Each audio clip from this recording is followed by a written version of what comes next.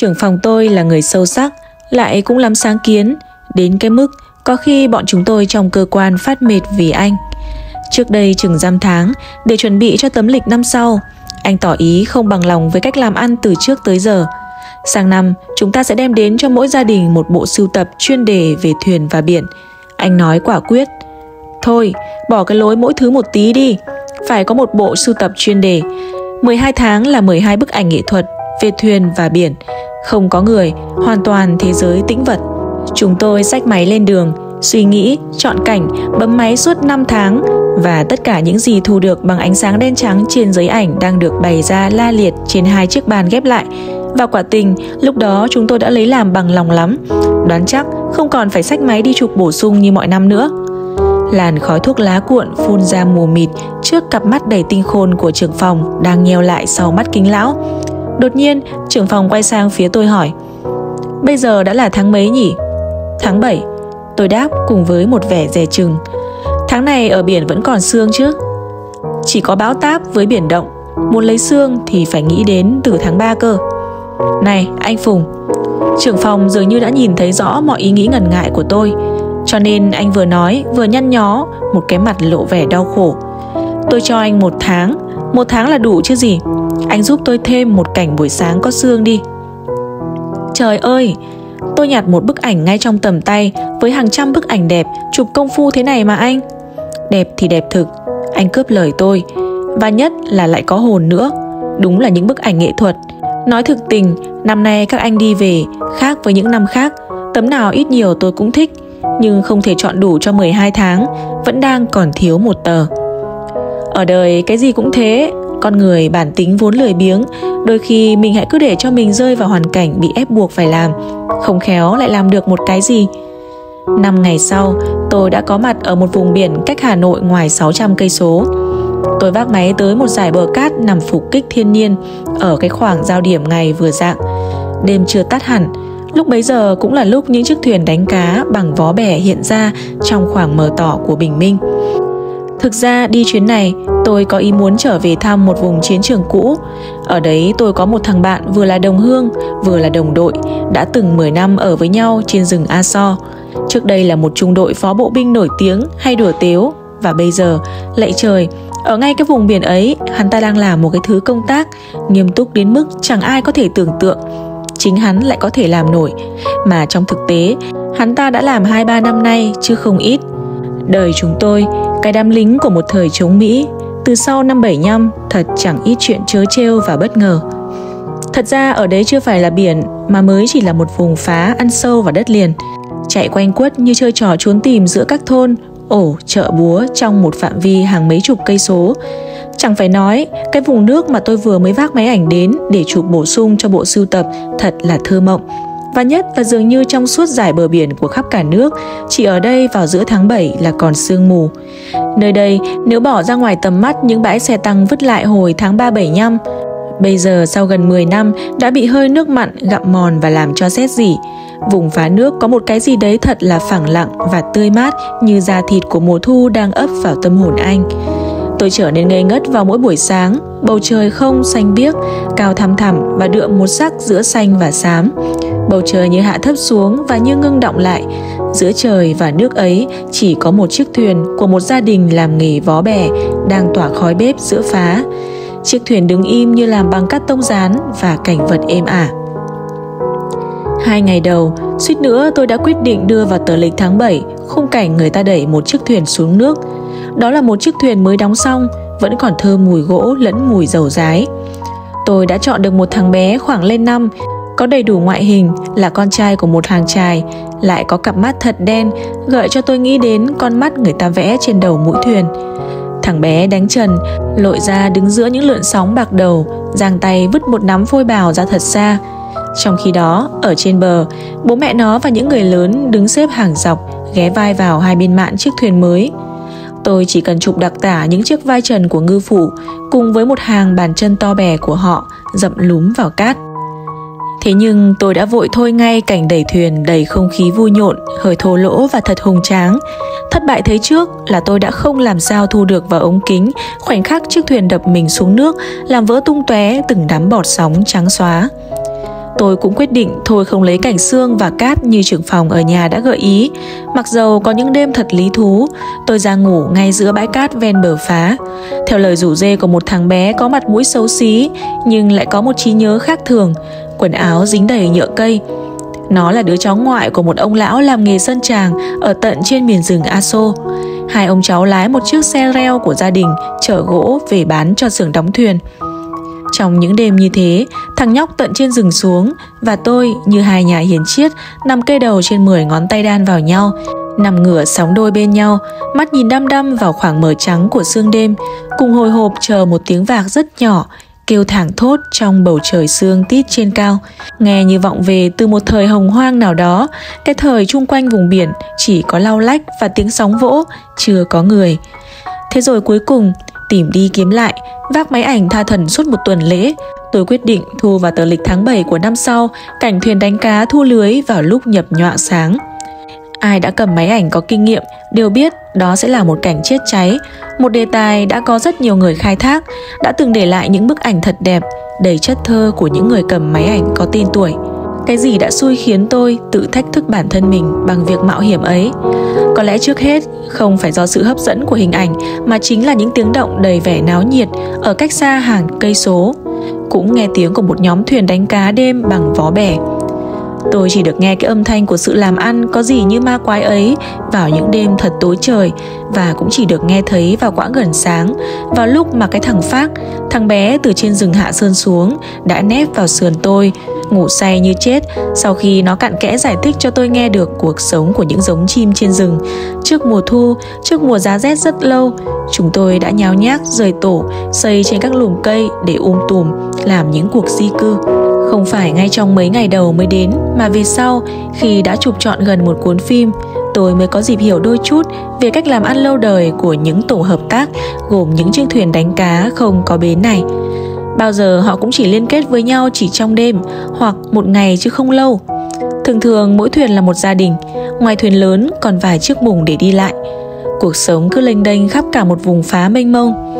Cưới xin, sinh con đẻ cái hoặc lúc nhắm mắt cũng chỉ trên một chiếc thuyền. Xóm giềng không có, quê hương bản quán cả chục cây số trời nước chứ không cố kết vào một khoảng đất nào. Vào một buổi sáng tôi thức dậy, đàng đông đã sáng trắng, trên một nửa vòm trời sao đã lặn hết. Những đám mây hình vỏ sò cứ hồng lên dần Trong khi đó mặt biển tuy đã sáng rõ Đến cái mức đứng trên bờ Cũng nhìn thấy từng đường nếp lăn tăn Trên mặt tấm thép rát màu xám đục nhưng sao mà tẻ nhạt, Tiếng sóng ồ ồ dội vào giấc ngủ Suốt đêm chạy trốn đi đâu hết. Biển im thít và không màu sắc, Như một con sứa khổng lồ dạt vào bãi. Ngay bãi xe tăng nhìn ra, Một nhóm chừng dăm chiếc thuyền vó vừa tắt đèn. Những chiếc măng sông treo thõng giữa lòng các tấm lưới đã tắt hết, Nhưng những đợt tiếng la hét vẫn cứ vang lên. Đó là đám người đã được phân công làm công việc xua cá vào lưới.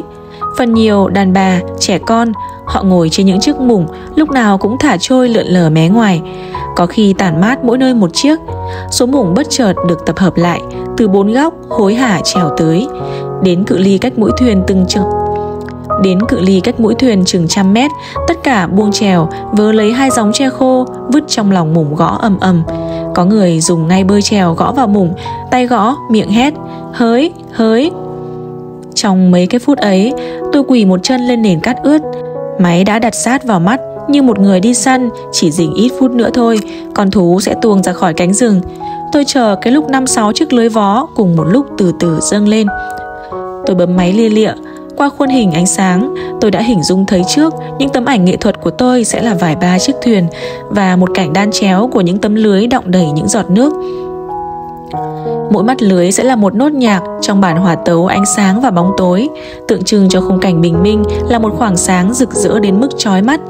Trong khoảng sáng đó sẽ hiện lên tầm nhìn thật xa những đường nét của thân hình một người đàn bà đang cúi lom khom, giải cánh tay thật dài về phía trước, kéo tấm lưới lên khỏi mặt nước và phía sau lưng người đàn bà hình một ngư phủ và một đứa trẻ đứng thẳng trên đầu mũi thuyền dùng lực toàn thân làm đòn bẩy để nâng bổng hai chiếc gọng lưới chĩa thẳng lên trời. Nói chung, tôi đã tìm được một bố cục chặt chẽ, tôi lại có tính duy tâm nghề nghiệp, tôi lại còn tin vào cái ngẫu nhiên đầy số đỏ của tôi nữa. Tôi nghĩ rằng với những tay nhiếp ảnh nghệ thuật, Nếu không có thêm sự sắp đặt đầy tài tình của ngẫu nhiên thì với tài ba đến bao nhiêu, anh cũng chỉ thu được những tấm ảnh vô hồn.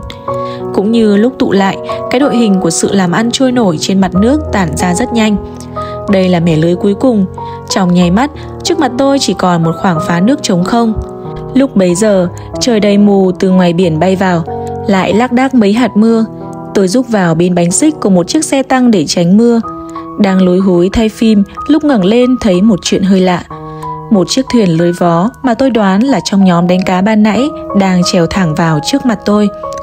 Có lẽ suốt một đời cầm máy ảnh, chưa bao giờ tôi được thấy một cảnh đắt trời cho như vậy. Trước mặt tôi là một bức tranh mực tàu của một danh họa thời cổ. Mũi thuyền in một nét mơ hồ, loè nhòe và bầu sương mù trắng như sữa, có pha đôi chút màu hồng do ánh nắng mặt trời chiếu vào. Vài bóng người lớn lẫn trẻ con ngồi im phăng phắc như tượng trên chiếc mui khum khum đang hướng mặt vào bờ. Tất cả khung cảnh ấy nhìn qua những cái mắt lưới và tấm lưới nằm giữa hai chiếc gọng vó hiện ra dưới một hình thù y hệt cánh một con rơi.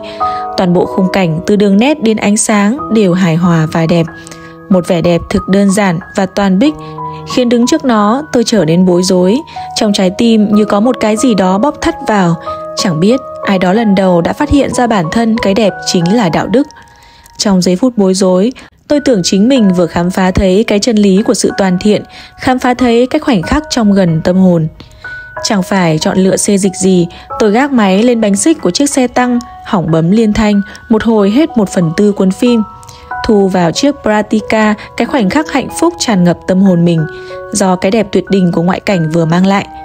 Tôi chắc mẩm, ngay trong ngày hôm nay hoặc sáng mai có thể nhảy lên tàu hỏa để trở về, nếu các anh bạn đồng ngũ không cố níu giữ lại ở chơi thêm vài bữa. Ngay lúc ấy, chiếc thuyền đâm thẳng vào trước chỗ tôi đứng, một người đàn ông và một người đàn bà rời chiếc thuyền.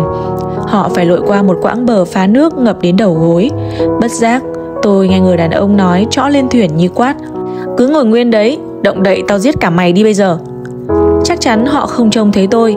Người đàn bà chạc gần ngoài 40, một thân hình quen thuộc của đàn bà vùng biển, cao lớn với những đường nét thô kệch, mụ rỗ mặt, khuôn mặt mệt mỏi sau một đêm thức trắng kéo lưới, tái ngắt và dường như đang buồn ngủ.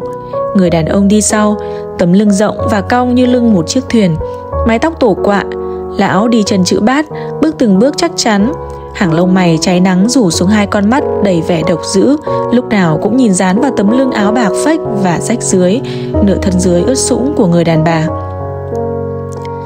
Từ chỗ chiếc xe tăng mà tôi đang đứng với chiếc máy ảnh, đi quá 10 bước sâu vào phía trong, có một chiếc xe giả phá mìn của công binh Mỹ. Chiếc xe sơn màu vàng tươi và to gấp đôi một chiếc xe tăng. Hai người đi qua trước mặt tôi, họ đi đến bên chiếc xe giả phá mìn.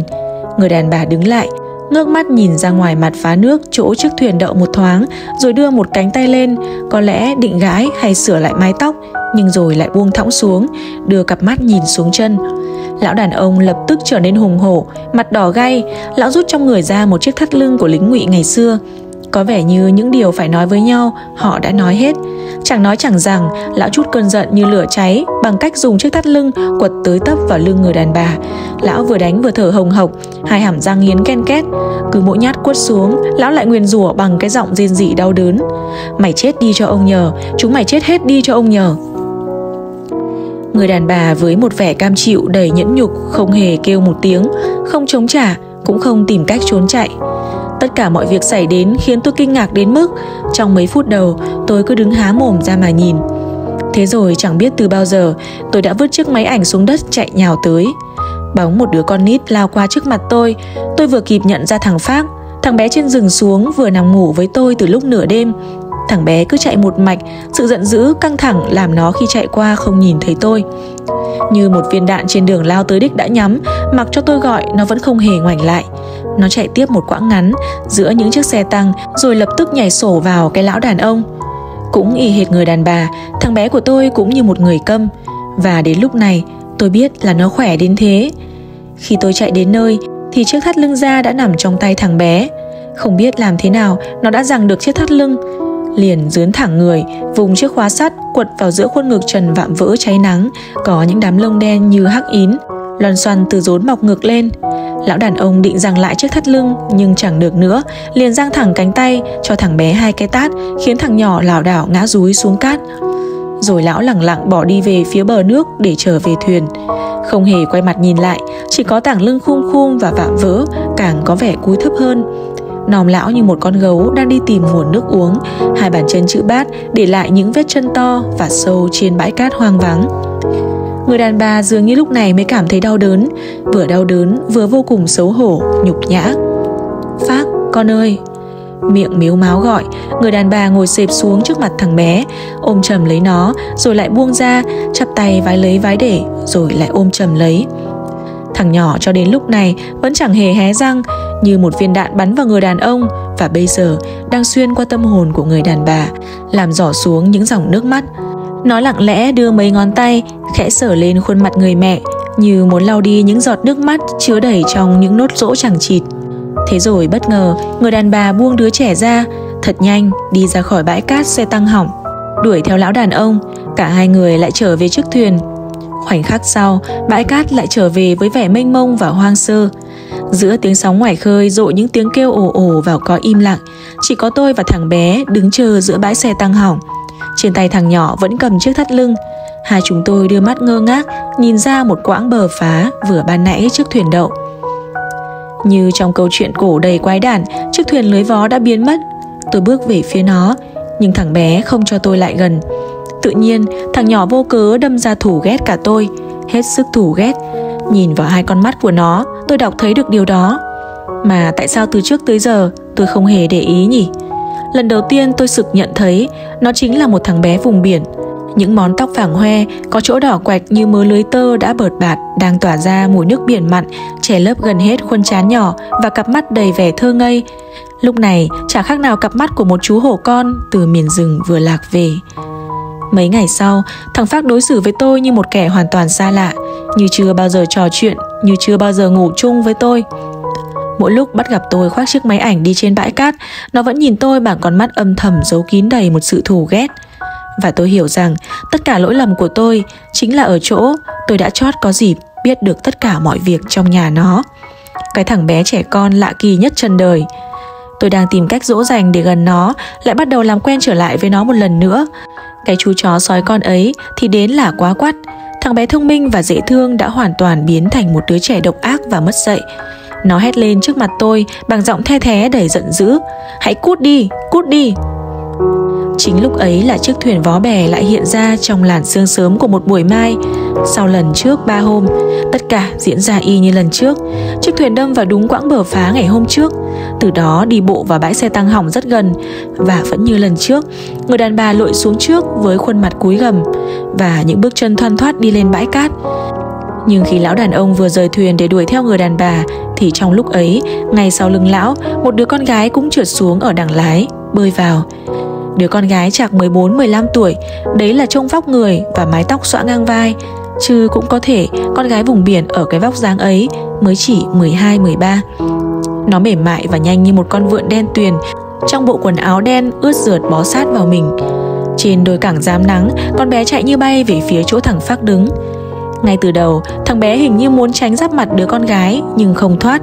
Thực sự là đứa con gái lớn hơn và có vẻ rất khỏe. Hai đứa trẻ vật nhau Có một lúc thằng Phác vùng ra khỏi đứa con gái Định bỏ chạy Nhưng chỉ sau vài giải chân rửa sát ngay sau lưng Đứa con gái đã nhanh nhẹ giơ tay túm được vạt áo thằng Phát Lồi giật lại Đứa con gái mà tôi đoán là con chị Đã đè ngửa thằng bé ra giữa bãi cát Và đến tận bây giờ thì tôi mới hiểu Đứa con gái đã rút được từ trong cặp quần đùi của thằng bé Một vật sáng loáng Trời ơi, đó là một con dao găm Đầu anh bạn chiến cũ lái Honda đi đón tôi ở trạm xá xã. Những người thợ xưởng đóng thuyền đã dìu tôi từ bãi tăng về đấy chưa đầy một ngày. Lão chồng, cái lão đàn ông độc ác và tàn nhẫn nhất thế gian ấy, đánh tôi hoàn toàn vì mục đích tự vệ. Tôi nện hắn cũng đã khiếp. Tôi nện hắn bằng tay không, nhưng cú nào ra cú ấy, không phải bằng bàn tay của một anh thợ chụp ảnh, mà bằng bàn tay rắn sắt của một người lính giải phóng đã từng 10 năm cầm súng. Tôi đã chiến đấu trong mấy ngày cuối cùng chiến tranh trên mảnh đất này. Bất luận trong hoàn cảnh nào, tôi cũng không cho phép hắn đánh một người đàn bà, cho dù đó là vợ và tự nguyện giúp vào trong xó cái bãi xe tăng kín đáo cho hắn đánh. Đầu đưa tôi về cơ quan của anh, cô y tá của cơ quan tòa án huyện, một cô gái chưa chồng, đã lớn tuổi và béo phục phịch nhận lệnh của thủ trưởng đầu mang túi thuốc tới. Dưới mắt cô y tá, những vết thương xoàng trên trán tôi chả khác gì những vầng hào quang của một người anh hùng. Vừa băng lại các vết thương cho tôi, cô vừa kể lể bằng cả giọng phẫn nộ thói tàn nhẫn của dân đàn ông đánh cá trong vùng địa phương này do phong tục để lại. Hãm bớt ngọn lửa căm thủ xuống bà chị ạ. Dù sao thì đàn ông cũng cần, đôi khi rất cần, dù là tranh án của tòa án huyện, đầu vẫn không chịu bỏ cái thói hay bông phèn. Thả tôi chết già, các anh đừng tưởng, thả tôi làm gái già suốt đời. Cô y tá luống tuổi, cứ chĩa mũi kéo đang kẹp một rúm bông, đã tẩm cồn vào giữa mặt đầu.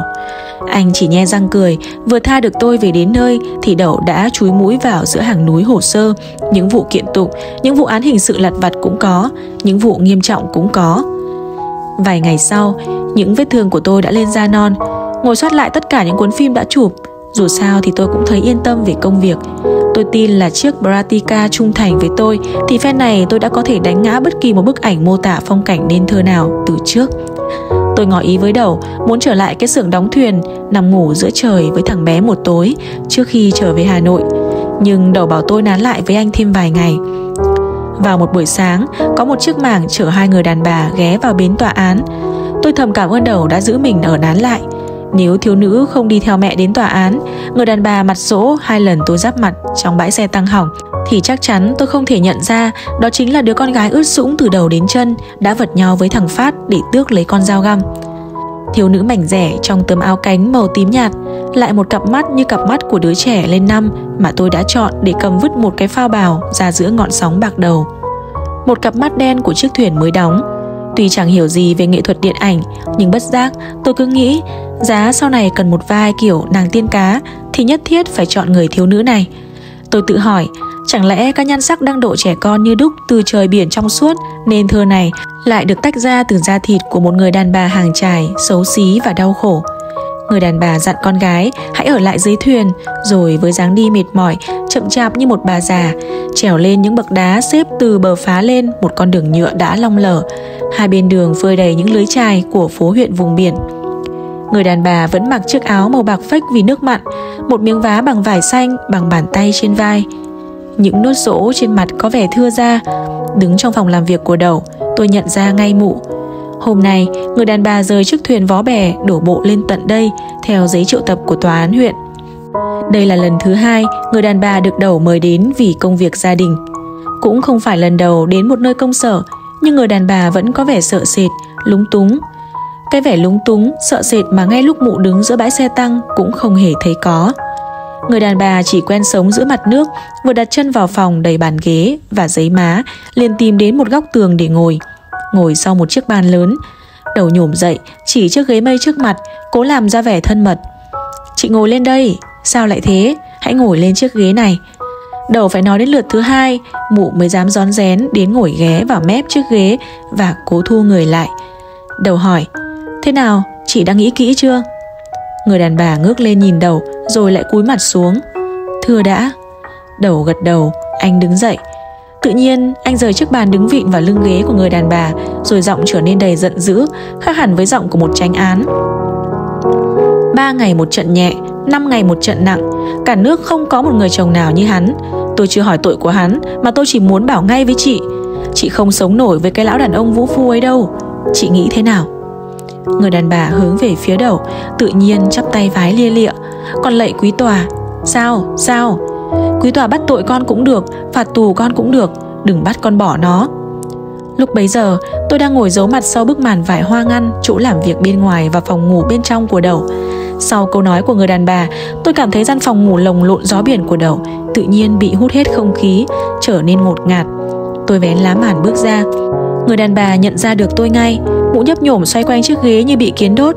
Và về sau, tôi mới sực nghĩ ra Mụ nghĩ rằng tòa án đã bố trí sẵn tôi ngồi ở phía sau Để chuẩn bị làm nhân chứng. Chị cứ ngồi nguyên đấy. Đầu nói và với vẻ đầy hào hứng của một con người bảo vệ công lý Vừa có thêm người đến tiếp viện. Anh chạy sang phòng bên Xách một chiếc ghế cho tôi.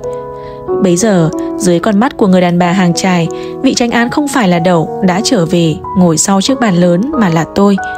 Với mấy vết thương đã lên da non nhưng vẫn để lại dấu vết trên mặt. Tùy bà, đầu thay đổi cách xưng hô, khoác lên mình cái cung cách bề ngoài của một vị tranh án, chủ trương nguyên tắc của chúng tôi là kêu gọi hòa thuận. Đang ngồi cúi xuống, người đàn bà bỗng ngẩng lên nhìn thẳng vào chúng tôi, lần lượt từng người một, với vẻ ban đầu ngơ ngác. Chị cảm ơn các chú. Người đàn bà đột nhiên thốt lên bằng một giọng khẩn thiết. Đây là chị nói thành thực, chị cảm ơn các chú. Lòng các chú tốt, nhưng các chú đâu có phải người làm ăn, cho nên các chú đâu có hiểu được cái việc của các người làm ăn lam lũ, khó nhọc. Chỉ mấy lời màu đầu ấy, người đàn bà đã mất hết vẻ ngoài khúm núm, sợ sệt. Điệu bộ khác, ngôn ngữ khác. Cũng phải nói thật, những lời ấy nhất là đấy lại là lời của một người đàn bà khốn khổ, không phải dễ nghe với chúng tôi. Dầu mặt hãy còn trẻ, đầu cũng là một tranh án huyện, còn tôi, một người đáng lẽ mụ phải biết ơn. Nhưng người đàn bà để lộ ra vẻ sắc sảo chỉ đến thế, chỉ vừa đủ để kích thích trí tò mò của chúng tôi. Mụ đưa cặp mắt đầy vẻ mệt mỏi nhìn ra ngoài bờ phá bên kia đường, chính là phố huyện ở đấy. Thiếu nữ mặc áo tím vẫn ngồi đợi mụ trên chiếc mủng. Trong phút chốc, ngồi trước mặt chúng tôi vẫn là một người đàn bà lúng túng, đầy sợ sệt, nhưng có vẻ thông cảm với chúng tôi hơn. Mụ bắt đầu kể. Từ nhỏ, tôi đã là một đứa con gái xấu, lại dỗ mặt sau một bận lên đậu mùa. Hồi bấy giờ nhà tôi còn khá giả, nhà tôi trước ở trong cái phố này. Cũng vì xấu mà trong phố không ai lấy, tôi có mang với một anh con trai là con của một nhà hàng trài giữa phá hay đến nhà tôi mua bả về đan lưới. Lão chồng tôi khi ấy là một anh con trai cục tính nhưng hiền lành lắm, không bao giờ đánh đập tôi. Người đàn bà bỗng chép miệng, con mắt như đang nhìn suốt cả cuộc đời mình. Giá tôi đẻ ít đi, hoặc chúng tôi sắm được một chiếc thuyền rộng hơn. Từ ngày cách mạng về đã đỡ đói khổ, chứ trước kia vào các vụ Bắc, ông trời làm động biển suốt hàng tháng trời, cả nhà vợ chồng, con cái toàn ăn cây xương rồng luộc chấm muối. Cũng nghèo khổ, túng quẫn đi vì trốn lính. Bỗng mụ đỏ mặt, nhưng cái lỗi chính là ở đám đàn bà ở thuyền đẻ nhiều quá mà thuyền lại chật. Vậy sao không lên bờ mà ở? Đầu hỏi. Làm nhà trên đất ở một chỗ đâu có thể làm được cái nghề thuyền lưới vó. Từ ngày cách mạng về, cách mạng đã cấp đất cho, nhưng chẳng ai ở vì không bỏ nghề được. Ở trên thuyền có bao giờ lão ta đánh chị không? Tôi hỏi.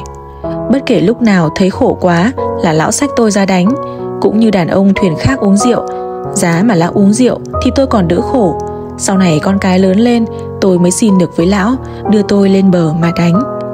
Không thể nào hiểu được, thật không thể nào hiểu được Đầu và tôi cùng thốt lên một lúc Là bởi vì các chú không phải đàn bà Chưa bao giờ các chú biết như thế nào là nỗi vất vả của người đàn bà Trên một chiếc thuyền không có đàn ông phải, phải, bây giờ tôi đã hiểu. Bất ngờ đầu chút một tiếng thở dài đầy chua chát. Trên thuyền phải có một người đàn ông Dù hắn man dợ, dù hắn tàn bạo. Phải, người đàn bà đáp. Cũng có khi biển động sóng gió chứ chú. Lát lâu sau Mụ lại mới nói tiếp. Mong các chú cách mạng thông cảm cho. Đám đàn bà hàng trài ở thuyền chúng tôi Cần phải có người đàn ông để trèo chống phong ba Để cùng làm ăn, nuôi nấng đặng một sắp con. Nhà nào cũng trên dưới chục đứa. Ông trời sinh ra người đàn bà là để đẻ con Rồi nuôi con cho đến khi khôn lớn Cho nên phải gánh lấy cái khổ. Đàn bà ở thuyền chúng tôi phải sống cho con Chứ không thể sống cho mình như ở trên đất được. Mong các chú lượng tình cho cái sự lạc hậu. Các chú đừng bắt tôi bỏ nó. Lần đầu tiên trên khuôn mặt xấu xí của mụ chợt ửng sáng lên như một nụ cười. Và lại, ở trên chiếc thuyền cũng có lúc vợ chồng con cái chúng tôi sống hòa thuận, vui vẻ. Cả đời chị có một lúc nào thật vui không? Đột nhiên tôi hỏi. Có chứ, chú. Vui nhất là cảnh nhìn đàn con chúng tôi, chúng nó được ăn no. Viên tránh án huyện rời chiếc bàn xếp đến phát ngốt lên những chồng hồ sơ, giấy má, đầu đi đi lại lại trong căn phòng, hai tay thọc sâu vào hai bên túi quần quân phục đã cũ. Một cái gì vừa mới vỡ ra trong đầu vị bao công của cái phố huyện vùng biển. Lúc này, trông đầu rất nghiêm nghị và đầy suy nghĩ. Người đàn bà đã khóc khi nghe tôi nhắc đến thẳng Phác. Nhưng tình thương con cũng như nỗi đau, cũng như cái sự thâm trầm trong việc hiểu thấu cái lẽ đời, hình như mụ chẳng bao giờ để lộ rõ rệt ra bên ngoài. Trong cái đám con cái đông đúc đang sống ở dưới thuyền, mụ không yêu một đứa nào bằng thằng Phác. Cái thằng con từ tính khí đến mặt mũi giống như lột ra từ cái lão đàn ông đã hành hạ mụ và không khéo sẽ còn hành hạ mụ cho đến khi chết nếu không có cách mạng về. Mụ cho chúng tôi biết vì sợ thằng bé có thể làm điều gì dại dột đối với bố nó, mụ đã phải gửi nó lên rừng nhờ bố mình nuôi đã nửa năm nay. Ở với ông ngoại, thằng bé sướng hơn ở trên thuyền với bố mẹ. Nhưng hễ rời ra là nó trốn về Thằng bé tuyên bố với các bác ở xưởng đóng thuyền rằng nó còn có mặt ở dưới biển này thì mẹ nó sẽ không bị đánh. Chiều hôm ấy, Trong khi đầu gặp lão đàn ông để giáo dục răn dạy lão thì tôi trở lại xưởng đóng thuyền. Vắng thẳng phát, dù sao cái bãi cát cũng như cả vùng phá nước trở nên trống trải thế nào ấy. Đêm, những đàn chim di cư vẫn vỗ cánh trong sương, bay qua vùng phá. Tôi khoác chiếc máy ảnh đi lang thang cho đến tận khuya, đã mỏi rã cả chân. Tôi đến ngồi bên một ngọn lửa, nhìn phoi bào bắt cháy sang cái đầu mẩu gỗ cưa ra từ lẻ ván của một chiếc thuyền mới vớt lên được sau vụ đắm thuyền của vụ Bắc năm ngoái. Gần sáng, trời trở gió đột ngột, từng tảng mây đen xếp ngổn ngang trên mặt biển đen ngòm và biển bắt đầu gào thét. Sóng bạc đầu ngoài, cửa ngạch nổi cồn lên như những ngọn núi tuyết trắng. Trong phá, các thứ tàu thuyền đều tìm lại về bờ để trú. Duy ở giữa phá, chẳng hiểu vì sao vẫn còn thấy một chiếc thuyền vó bè đang đậu. Gió rú ảo ảo xung quanh chiếc xe reo vừa mới ở trên rừng xuống, chưa dỡ gỗ xuống hết. Cái ông lão đã ngoài 60 mà vẫn còn theo đuổi nghề dân tràng, đang ngồi bên bếp lửa giữa trời, vẫn đặt hai con mắt đầy vẻ lo lắng ra ngoài mặt phá, nơi có chiếc thuyền. Cái bếp lửa cũng bị gió ném tung ra khắp bãi cát, những tàn lửa đỏ rực bay quẩn lên chung quanh chỗ tôi và ông lão ngồi. Tôi xem lại son cơm sống nhăn hộ ông lão, đoạn gào lên. Chiều gió này không khéo bão cấp 11 rồi. Ừ, ừ, ông lão lẩm bẩm vẫn không rời mắt khỏi chiếc thuyền đang chống chọi với sóng gió giữa phá. Những tấm ảnh tôi mang về đã được chọn lấy một tấm, trưởng phòng rất bằng lòng về tôi. Không những trong bộ lịch năm ấy mà mãi mãi về sau, tấm ảnh chụp của tôi vẫn còn được treo ở nhiều nơi, nhất là trong các gia đình xanh nghệ thuật. Quái lạ, tuy là ảnh đen trắng nhưng mỗi lần ngắm kỹ, tôi vẫn thấy hiện lên cái màu hồng hồng của ánh sương mai Lúc bấy giờ tôi nhìn thấy từ bãi xe tăng hỏng, Và nếu nhìn lâu hơn, Bao giờ tôi cũng thấy người đàn bà ấy đang bước ra khỏi tấm ảnh. Đó là một người đàn bà vùng biển cao lớn Với những đường nét thô kệch, Tấm áo lưng bạc phách có miếng vá, Nửa thân dưới ướt sũng, Khuôn mặt rỗ đã nhợt trắng vì kéo lưới suốt đêm. Mụ bước những bước chậm rãi, Bàn chân dậm trên mặt đất chắc chắn Hỏa lẫn trong đám đông.